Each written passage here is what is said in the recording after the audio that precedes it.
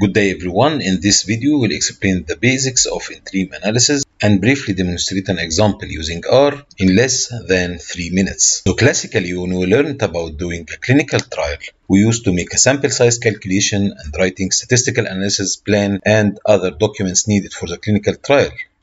And then we conduct the trial and at the end we'll make a final analysis, write a statistical analysis report and a case study report. What if we need to make an interim analysis, which is analysis before the final analysis. Well, doing an interim analysis will affect the sample size and the significance level at which we can judge and take a decision to stop or proceed with the trial.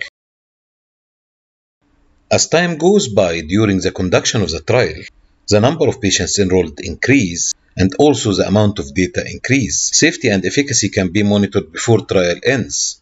Then we can stop the trial for efficacy where one arm is significantly better or superior than the other, or for safety where one arm is significantly toxic, or due to futility when you decide that the null hypothesis cannot be rejected. You must take into consideration that the sample size calculated for one analysis cannot fit for multiple testing. There are stopping rules or guidelines that use p-values of primary endpoints to help you take the decision whether to proceed or to stop the trial. We will discuss two stopping rules here.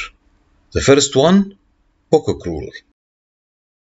We have a library called GS Design in R, which is Group Sequential Design. Here, K is the number of analyses planned, including the interim and final analysis. We put here 2, which is two-sided symmetric test. Here is a spending function. We use Pocock. When you run the function, you will get the following output.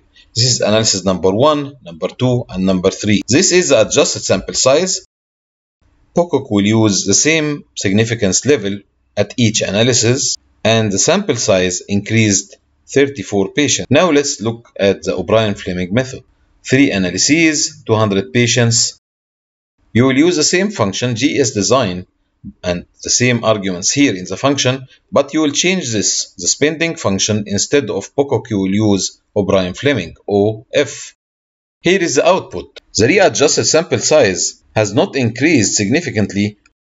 You can also see the difference in the significance level between Pocock and O'Brien-Fleming, where Pocock used the same values for significance level for each uh, analysis, while O'Brien-Fleming starts with very low significance level and then relaxed in next analyses. The sample size here increased significantly in case of Pocock but not with O'Brien-Fleming. That's all for this video. Thank you.